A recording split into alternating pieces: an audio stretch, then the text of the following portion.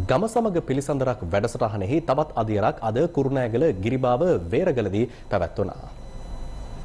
ගම සමග පිළිසඳරක් වැඩසටහනට සමගාමීව දැයට එළිය වැඩසටහනද අදින් ආරම්භ වුණා. මේ යටතේ සමෘද්ධිලාභීන්ට හා අඩු ආදායම්ලාභී පවුල් සඳහා විදුලිය ලබා දීමට නියමිතයි. අනතුරුව මාදුරාගම ක්‍රීඩා පිටියට පැමිණි ජනාධිපතිතුමා ජනතාව හමු වුණා. මේ වාර්තාවත් දුන්නනේ ජනාධිපති කොමිසමක් පත් කල්ලා මම දැක්ක සමහර දේශපාලන අය මේකෙන් ප්‍රෝජන ගණ්ඩ හදනවා මේක අපේ පිටින් දාලා. හැබැයි දැ මේ සිද්ධිය සිද්ධ වනේ දෙදස් දහනමේ අප්‍රේල් මාසේ විසි එක්වනිද. එතොට එත අපි නෙවෙයි බලය හිටිය මම නෙවෙයි ජනාධිපති ඒවගේම අපේ ආණ්ඩුවක් තිබුණේ නෑ කොමිෂන් සභාව. ගිය ජනාධිපත්තුමා තමයි පත් කරේ. පැහැදිලිවම කොමිෂන් සභාව විවිධ අවස්ථාවන්හිදී. කාටද මේක වගකීම දිය යුත්තේ කියන එක පැහැදිලිවම කියලා තියෙන. මෙම කේද වාචකයට ජනාධිපති සිරිසෙන්ස අග්‍රාමාත්‍යවරයා පමණක් නොව රජය වග කිය යුතුය රජය. දැන් මේ රජයේම හිටපු අය දැන් ඇවිල්ල කතා කරන්නේ රජයේ හිටිය නෑ වගේ. මේ කාරණය දේශපාලන කාරණයක් කරගන්නට හොඳ නෑ මේක ජාතික ප්‍රශ්නයක්. මම විශේෂෙන්ම දන්නවා කාඩිනල් හිමිපානන්ට මේ පිළිබඳ වේදනාව. මොකද පල්ලිවල කීපයකට පහර දුන්නු නිසා.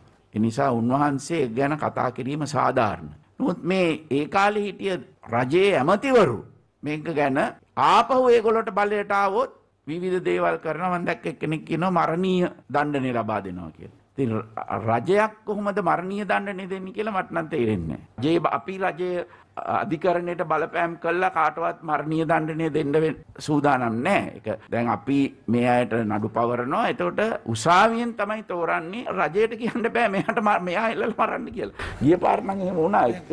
දැ ඒක අපේ රජයෙන් හෙම කරන්න හම්ද.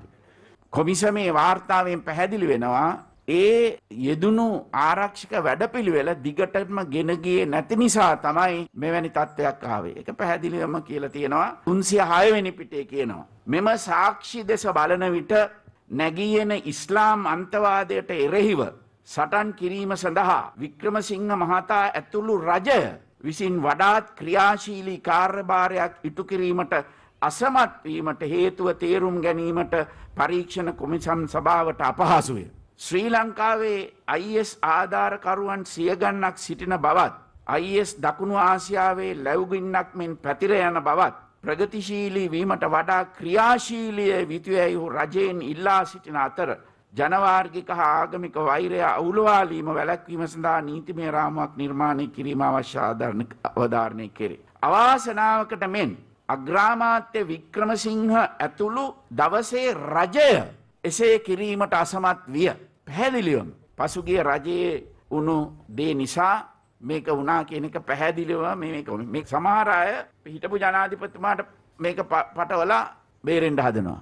මේක පැහැදිලිවම කියවෙනවා එදා එතුමාටත් ඒ රජයෙන් උන්නාන්සල දන්නවනේ දහනමනි සංශෝධනය ගෙනල්ලා තුමාගේ බලතලහක් කරා.